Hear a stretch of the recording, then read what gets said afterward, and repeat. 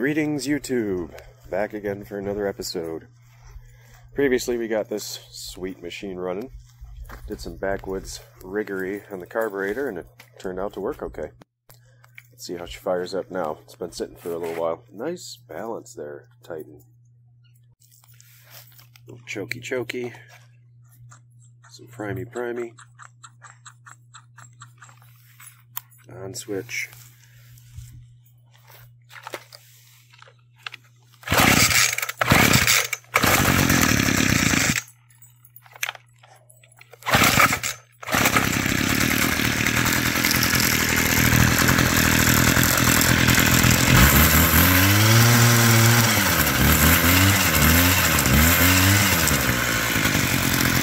like it's brand new. Okay, so we're down to a few chainsaws. Uh, I'm thinking I want to do the red one because I found this guy on the side of the road. surprise, surprise. Oh, there's our little crispy critter, by the way. We'll check it out later and see if it's uh, softened up yet or not. By the way, look at that clean workbench. Man, I can actually put stuff on it. Anyway, back to the subject at hand. Found this nice little setup the side of the road. This greasy sweetheart. Okay, let's do a quick overview. Run stop. Serial number. Homelite Textron. Got a trigger back here for two-handed use trigger up here for running down the street trying to chop someone's head off use. Happy Halloween, by the way. Chain oil reservoir, fuel reservoir. I'm assuming this is choke up here. Looks like we have possibly idle adjust right there. That's a convenient location. Homelite Super 2 automatic oiling. Chain, not bad. A little sticky. Flip it around. yeah. Definitely a well used machine, but looks like it's really well taken care of. Missing our spark plug. That's okay. I think I probably have one that'll work. You guys should see how I have the camera set up today. Got an ammo box with a aux beam light box you're sitting on top of that with a pen holding the cam, the phone at the right angle, and then there's a a tiki torch lamp oil, uh, keeping it all balanced. So uh, we're we're off to a good start. All right, fuel. Uh oh. I see. Holy cow. People say pigs are awesome. You ever hear the noises they make?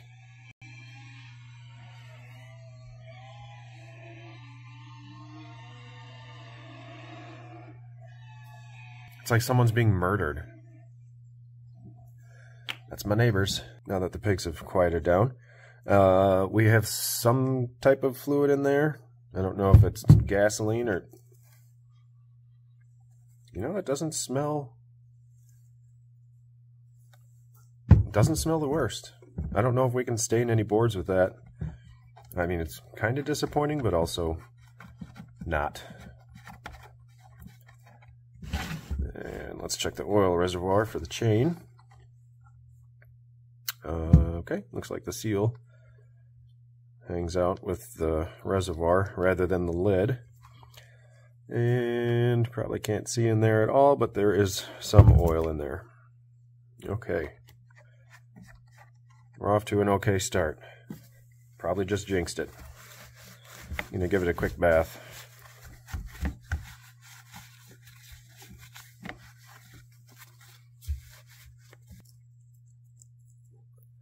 Like we're missing a screw there. You can probably find a replacement.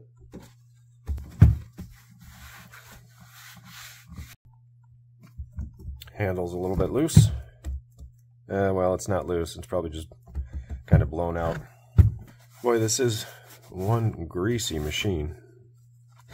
I should probably check and see if it rotates. Oh, that, okay. Well, that's a little bit of a bummer does rotate. It's a bit sticky. I'm going to see if we have a plug so we can at least check spark. Alright, found a plug. Not the best of plugs. So we're going to use our spark plug reconditioning stand and see if we can clean it up. And another note, have you seen anyone ever see this before? Check that out. The electrode actually broke away from the the housing. I was uh, I don't remember what it was on, but I was trying to start it, and I couldn't figure out why my hand was getting blown on, and it, it was the uh, the compression blowing by the spark plug hit me in the hand. Never seen that before, so I, I held on to it just because I thought it was cool. Spark plug reconditioning stand has been engaged. Thankfully, my vices are not bolted down. Remember I was complaining about wire wheels the other day? Well, I just happened to find one. Watch your ears.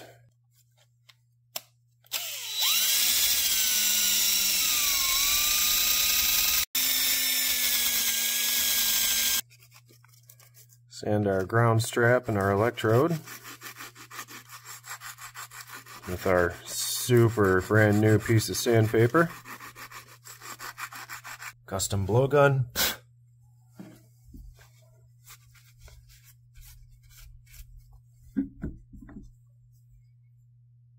Oh yeah, I think that'll work. Alright, let's do a spark check. Switch is on. Ground strap engaged. Hopefully it stays there. And let's see if I can get a good rip out of the pull cord. I did not see anything. Give me 20 minutes to wrap this up.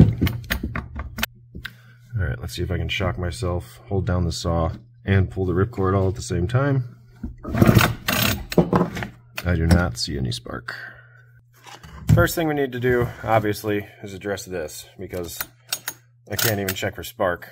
Socket of the day, 8 millimeters. Millimeters? 8 millimeter. Watch your ears.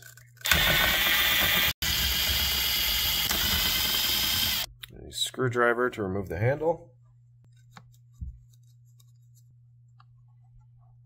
Alright, handle. Bye-bye. Cover. Let's see what's back here. I always remove these super slow because I don't know what's going to explode when I remove what I'm removing. Oh, well that's not bad. It looks like it's serviceable-ish. Might just be too much cord on here. Or it might be the wrong thickness. I think you know what's next. I see a screw right in there. This will either go really well, or it's going to explode. And I'm going to have to figure out how to coil the spring back up. I think you know which way it's probably going to go. But I'm hoping not.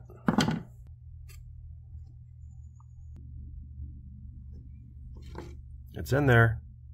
Trying to poke its way out. Oh man. Here's what we're going to do. I'm going to pull this metal piece out. I'm going to allow this to fully retract. And then it won't explode in my face. And by explode, I mean unravel and cause a very, very large frustration.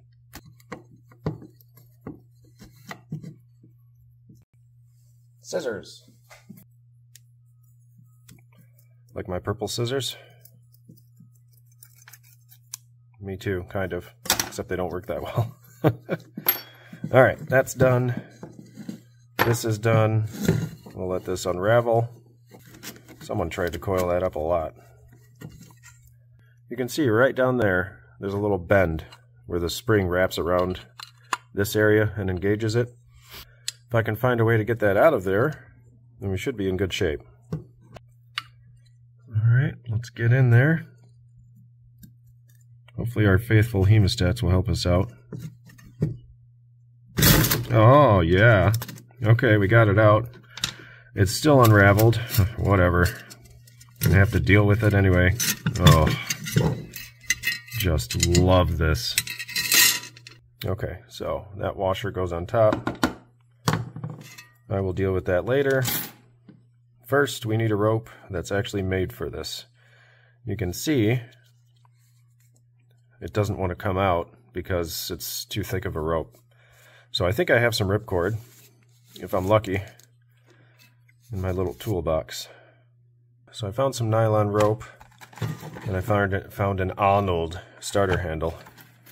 I'm thinking this rope is going to be too thick. I was trying to avoid opening the Arnold, but I think that's what we're going to have to do, because, yep, too large. That Arnold doesn't look a whole lot more thin. Well, I don't really have a choice. Looks like I opened it once. Changed my mind. Okay, that's separate. Cross your fingers that this is thin enough to fit in the groove. It is. Nice. It's perfect. It's on the verge of being too large, but if I had to guess, they put this by the side of the road because they bought a new ripcord. Uh, yeah, new ripcord for it. It worked on occasion, but uh, probably got sick of it. All right, working on the Arnold.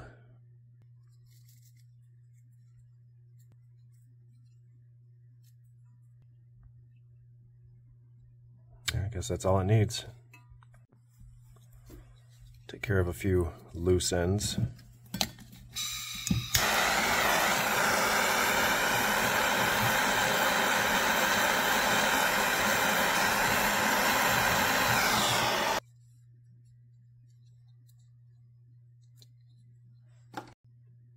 Pulling hard, and it's not going anywhere. Now, which way do I wrap it? Just kidding. But not really. I definitely had to think about it for a minute. When we're pulling, we want the teeth to engage, so that will do that. Yep. I think we've reached the end of our rope. oh man, am I a comedian or what? I'm to pull this through, pull that through there, tie it up. We'll call it a day. Bring you back. Kidding on that. We need to worry about the spring first. Hmm.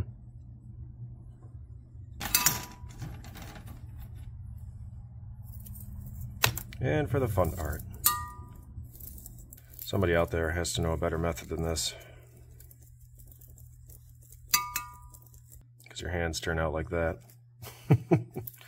Use a paper towel, moron. Okay, I'll use one next time.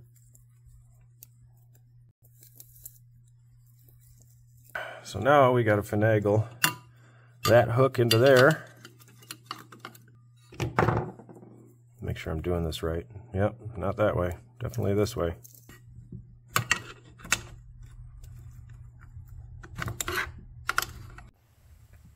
And I put it in backward. Yep, not that way. Definitely this way. Flip and repeat. Round two. Fight.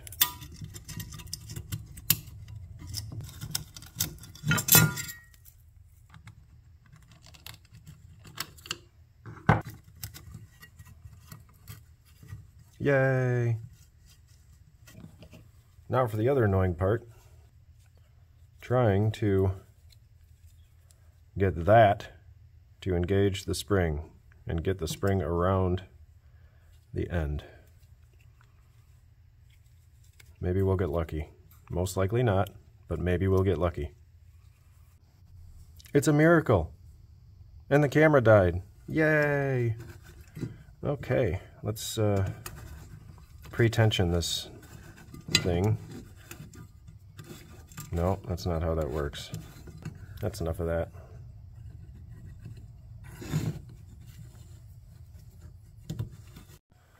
Okay, got it put back together. Got some grease on the front side. Put a little lube on the back side where the spring is. And like brand new. Now I'm gonna tie this onto, I like this style handle. This one, sure, it's more ergonomic. You get more fingers around it, but I like the smaller profile for something like this, you know, with a chainsaw you don't really want it bumping you in the in the body at all. So I'm gonna feed this through. You don't need to watch because you know I'm exciting. I'm gonna feed this through here, into here, tie my knot, tuck it in there, and we'll see if we have spark. And there you have it. Spring holds it nice and tight. Nobody likes floppy, sad ripcords. Tension, baby. All about the tension. All right. So, we got the ripcord situation figured out. Uh, let's check for spark. I'm going to do it with a drill because it's easier. So I'm going to get you set up in a place. Hopefully you can see it. Okay, you ready? Let's see what we have or don't have. Hmm.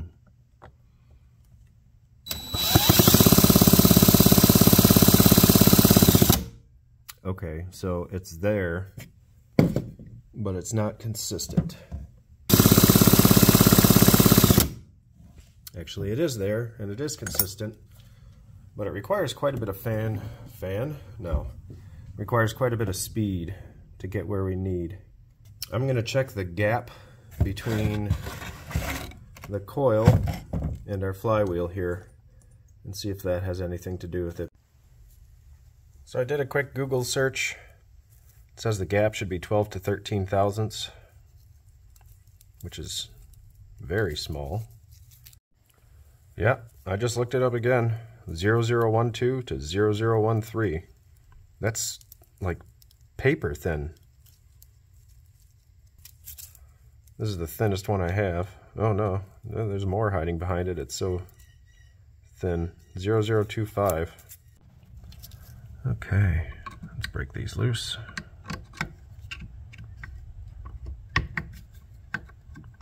Gotta love that crack when you break a nut loose or bolt loose. Maybe. Oh yeah, there it is. Just gonna put it in between there, if I can.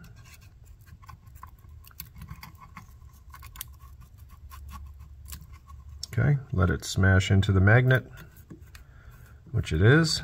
We're gonna tighten it up.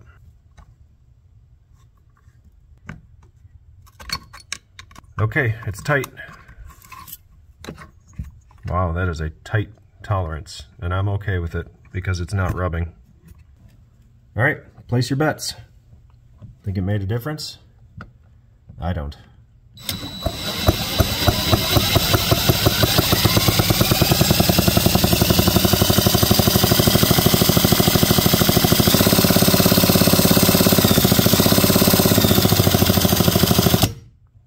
Interesting.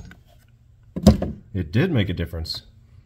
Not only did it require less drill speed to spark, now the spark is hotter when it's at a higher speed. Sweet. Well, workbench used to be clean, but when you're in the middle of a project, keep on going. All right, that's it for my day. I'll be back tomorrow. See you in about three, two, one. Hey folks, welcome back. So I think what I want to do next is just slide the entire assembly right out of the case because there's lots of goo that's been going on in here for a long time. I have no idea what size that is, but that is definitely not the right one. Really? That's pretty hardcore. Turn it up to 11. Okay, well, sometimes you just gotta turn up the pump.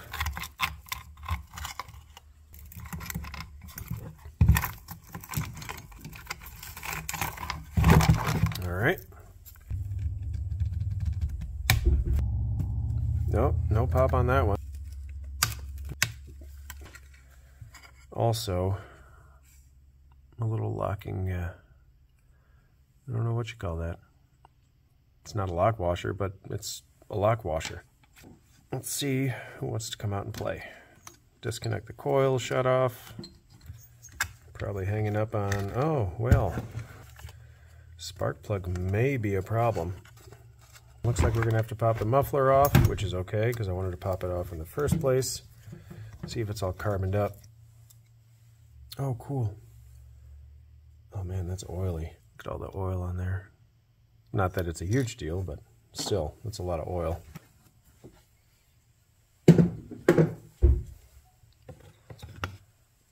Yep, there she is. And honestly, that exhaust port looks super clean. And that piston looks great. It looks really great. Only one ring for this little guy, huh? How cute is that? Welcome back, folks. It is another day. Did some tearing down yesterday and found out that this was full of black goo. I'm guessing all the gas evaporated and left behind the oil. Got some oil left in here still. I don't see any leaks. I don't think this is leaking. I think the case is dirty because, well, it's a chainsaw. I think it's going to be a poor choice to assume that the carburetor's okay. Uh, it could have a crispy diaphragm. The mixture screws and jets and everything could be all gummed up. If the gas tank was that bad, the carb's probably that bad. So, a big sigh. Let's remove the carburetor. There we go. Let's get our throttle linkage out of there.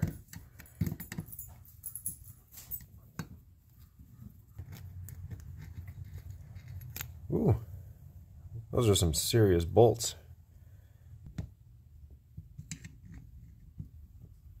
there we go. It's uh, stuck. It's really stuck. Am I missing something here? No, it's moving. There we go.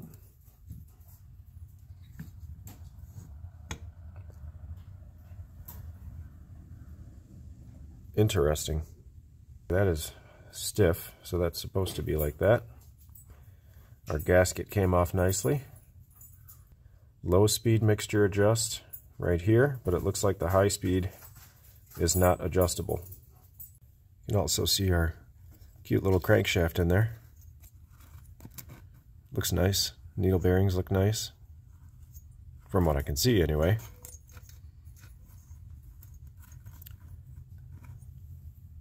Sterile work environment and lower camera level engaged. Let's check out our diaphragm.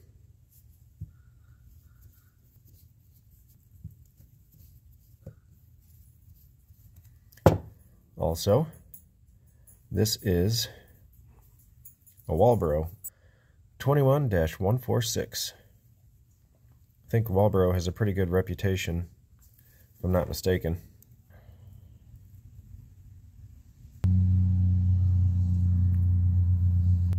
Oh man. Oh wait, well that may not be that bad.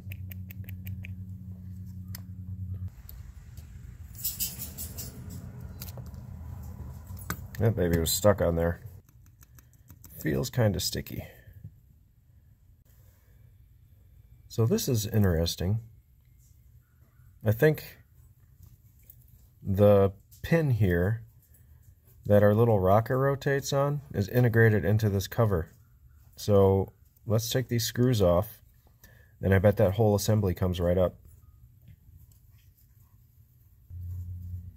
The next question is, how do we get it out of there? Well, I apologize. I didn't catch it, but took the screwdriver, put it in there, reefed on it, and it went pop, and that was it. It's coming right out. Nice and easy. And it does look like it's just one assembly, which is, again, something I haven't seen before. Although I haven't seen a whole lot. Still learning a lot of stuff here. This is pretty cool. Based on the way that uh, that needle slid back inside of its hole, it's going to be a bit gooey. So, spring, stay where you are, please. Needle, come with me. I'm going to go ahead and uh, clean up the needle. I'd mentioned Mustie1 to you guys before. Something else he does, which is why I keep a little jar of Q-tips is he'll take a Q-tip, put it down where the seat is, and give it a few spins.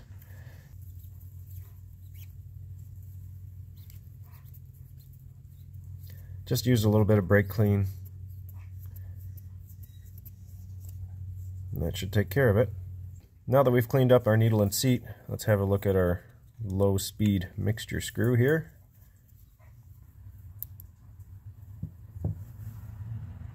And there we have it.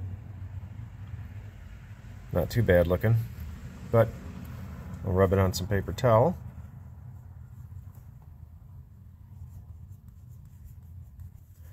Got some dirt coming off of it. Gelled up fuel. Got my bristle here. Do some poking around in there. Make sure our passage is clear, and I can see the needle coming right through there. So I'm pretty sure we're just fine. I can also see it going through that other hole. So no issues there. Let's check out the back side here.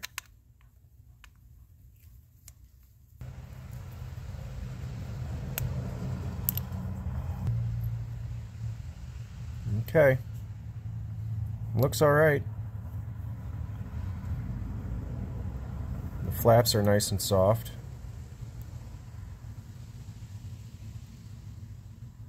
Very soft. That's good. I bet all the uh, oil in the two-stroke that's been sitting in here saved it. Or helped preserve it anyway. I don't really know what's under here. I'm not going to take it apart. As far as I know, it just flows through the fuel down into there. It must be a way of distributing it throughout the crankcase. And this probably, maybe this deflects it right at the crankshaft. Who knows?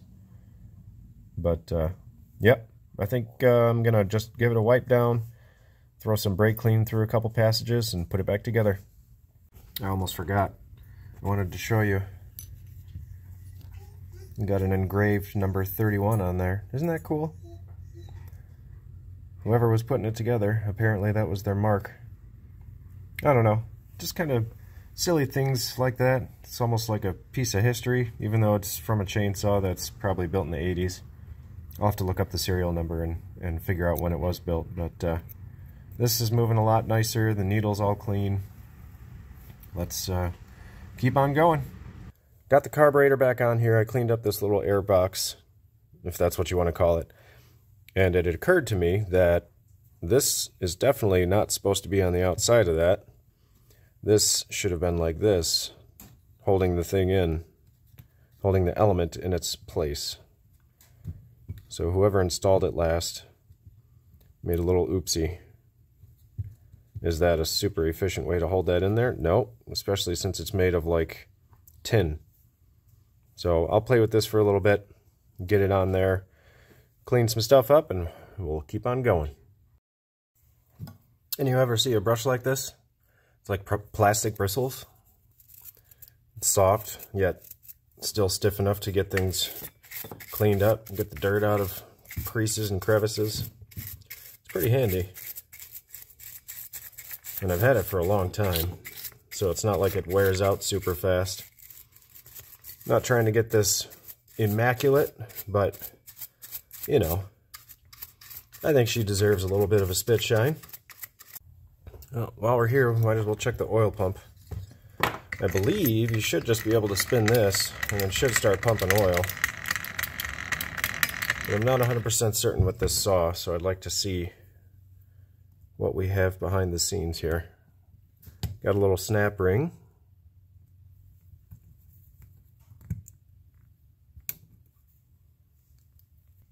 Washer. Sprocket. Yeah. Oh, wow. That is definitely not what drives the oil pump because there is nothing there. That is our clutch. Engine speed increases, these weights fly out, grab onto this, start spinning your chain. So if I had to guess, the oil pump is driven by the engine itself. Or it's possible it uses some other type of pulse signal.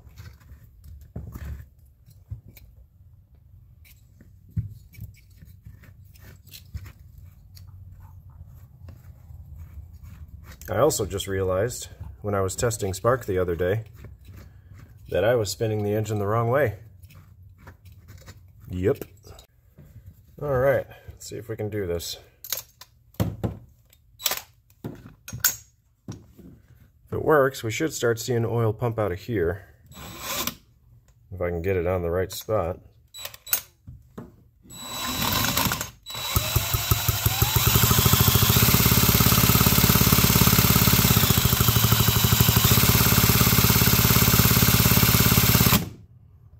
Yep, it's pumping oil. Let's find a shadow. See if I can zap myself.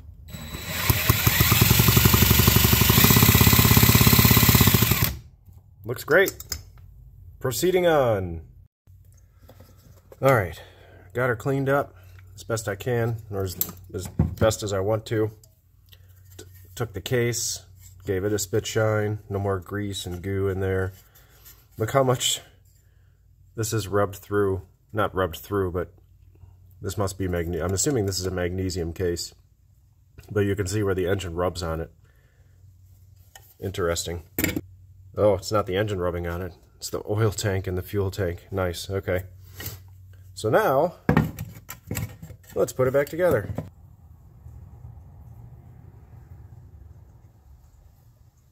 So riding the struggle bus. That was unpleasant.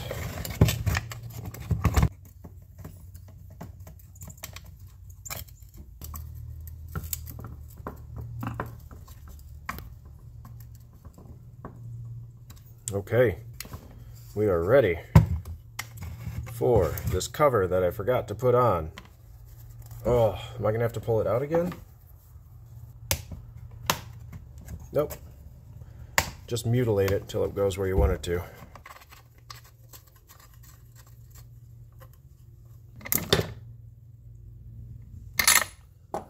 Spark plug inserted, ready to go.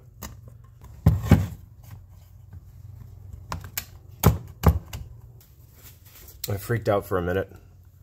I found these two screws and I'm like, uh, where do they go? And then I realized I haven't put the, the handle on yet.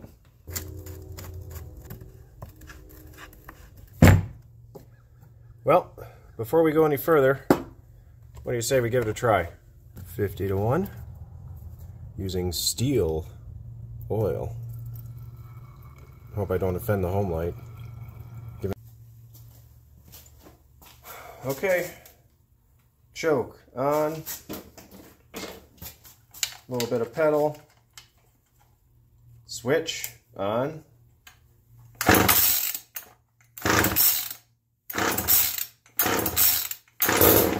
oh baby,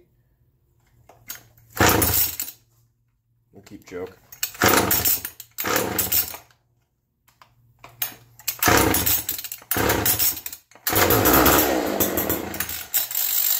To say. Come on, Ripcord, work with me here.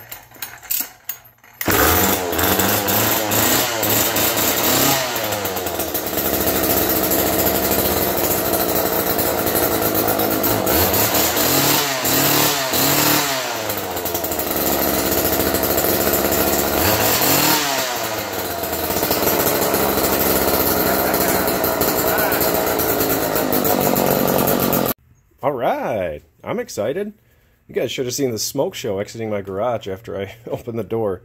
It's uh, obviously has some oil to burn off. That piston was soaked when I was looking at it, but um, that's okay. So next, let's get that bar and chain on there and the handle and do some wood cutting. So what I'd like to do now, just clean up the bar, clean up the chain a little bit, maybe check a tooth or two. Oh, they feel pretty sharp actually. You got your leading edge there. Whoop. And it grabs my skin pretty good. So hopefully we won't have to do any sharpening, which I've gotten decent at over the years. I'm not a pro, and I'm probably not going to show you how to sharpen because I know someone's going to rip me a new one about how I'm doing it and how I'm doing it wrong. So we'll leave that for another day. Now, if I'm not mistaken, that little hole is for grease. A lot of the saw blades, or the saw bars these days, have automatic oiling of this through the chain. So the, as the chain goes around, essentially it oils your bearing up front. But being as this is older, you're supposed to pump grease into there. I don't have a little needle adapter, so I am going to try to just mash that on there. Okay, so check it out. I just pushed more in there and it came out that. So that's good. Let's flip it over and do the same.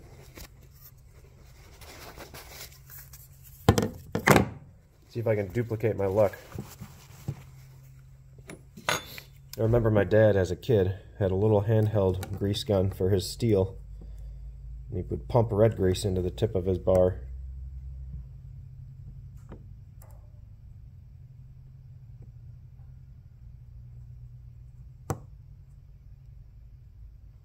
There we go. Sweet.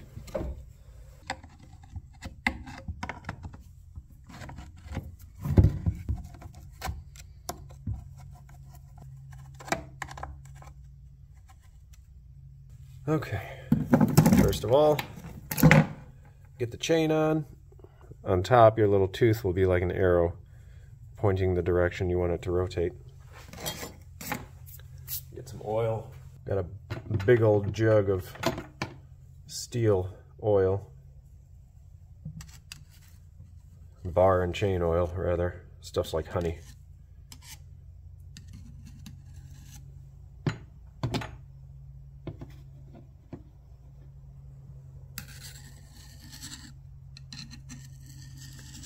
just for a little bit of pre-lube since we've dried everything off.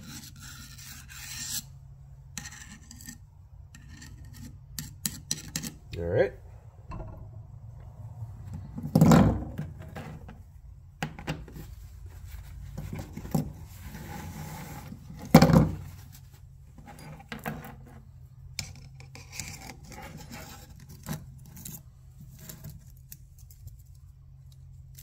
Get your chain on there. Can't really see, but the chain engages a cog at the rear. A bit cumbersome. Then our plate goes on. A little arrow indicating the front. Then we have a washer. And then a nut.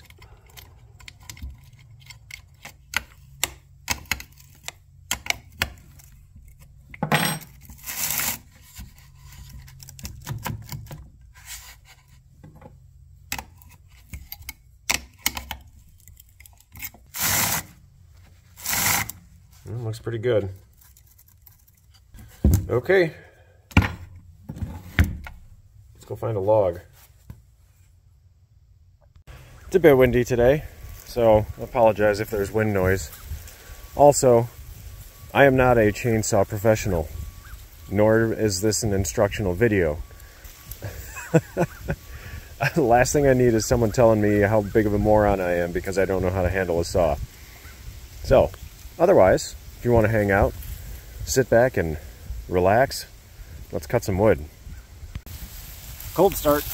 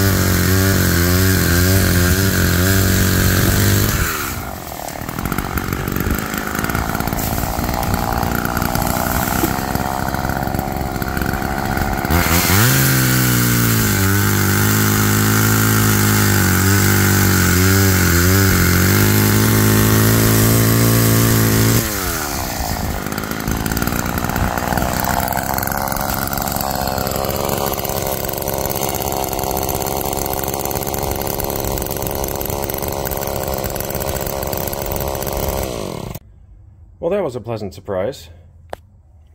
A nice little machine. And cut really well, actually. The chain is wet, so it's getting oiled nicely. Uh, notice that it seems to be running a little rich. You could maybe hear when I was cutting through one of the larger logs, it would kind of bog and then come back, bog and come back. Um, but I can't adjust the high the uh, high speed mixture because there's no adjustment. The only adjustment that I have is this little low speed screw here. Actually, just kidding. That's idle. That's idle. That's the mixture. So I don't know, maybe tickling the mixture for the low will help the high. Most likely not, but either way, I mean, if I'm just tootling around with this and, you know, chopping up some small wood, this will be a great little saw. So I might just hold on to it for a while. Also, one thing I noticed, um, this nut started to, to loosen up a little bit. Could have caused a very sketchy situation, so that's something I'll have to keep an eye on if, when I'm using it. Maybe I just didn't have it seated totally because I just put it back together. Needed a little run time to kind of seat itself. But um, yeah, overall, I'm happy. Hopefully you guys are happy. Thanks for hanging out with me and doing some more fun stuff. We will see you again on the next one. I almost forgot. Got to check on our crispy critter.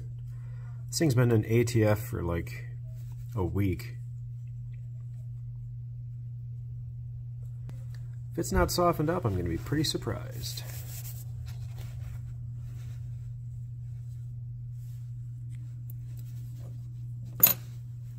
Survey says crispy. Okay, on to the next fluid. Thanks again for watching, folks.